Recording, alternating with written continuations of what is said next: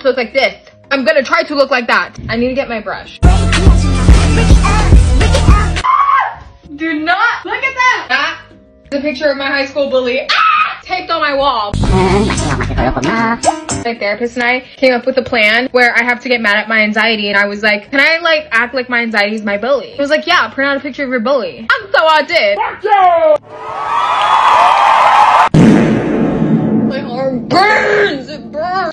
before I pull the bangs out, I think I'm gonna put some makeup. I don't have face card without some makeup. I'm a catfish. And what? I have a pimple on my lip. Don't say anything, it's so nasty. This isn't real, I don't have a pimple.